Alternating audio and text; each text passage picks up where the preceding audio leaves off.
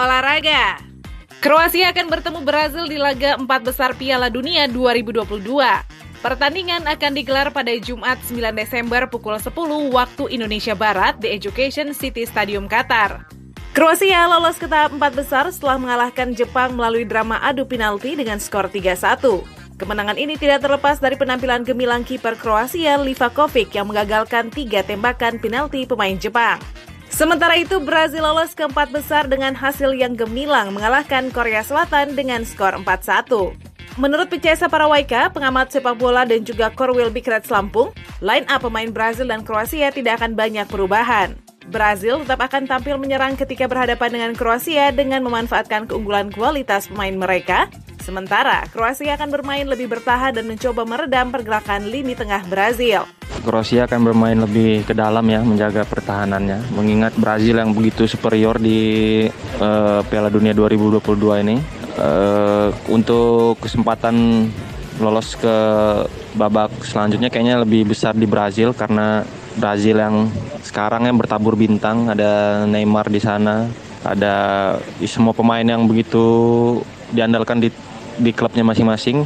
Uh, saya kira Kroasia akan main lebih ke dalam dan Brazil akan menyerang dan untuk peluang yang lolos akan dimiliki oleh Brazil ya.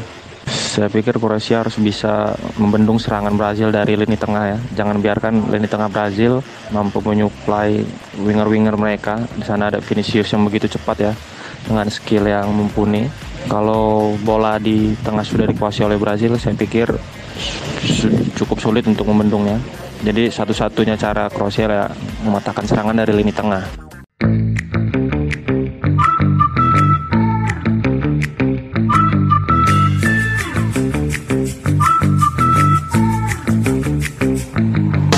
Masa istirahat tiga hari akan dimaksimalkan oleh kedua tim agar dapat menampilkan skuad terbaik kala bertemu Jumat malam nanti.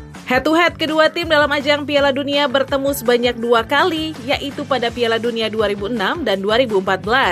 Dalam sejarah pertemuan keduanya, Brazil lebih mendominasi dengan torehan tiga kemenangan dan satu hasil imbang. Brazil dipastikan tidak bisa memainkan dua pemain andalan mereka, yaitu Gabriel Jesus dan Alex Teles, dikarenakan cedera. Sementara itu, hal serupa menerpa Kroasia. Josep Stanisic dan juga Borna Sosa absen kala Kroasia berhadapan dengan Brazil nanti.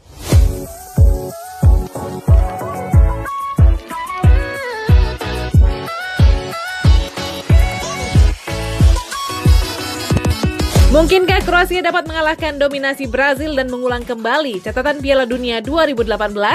Atau Brazil yang menambah rekor tak terkalahkan kala menghadapi Kroasia? Kita nantikan saja hasilnya pada pertandingan nanti. Saya Mutia Febriani untuk Tim Sport El Sinta.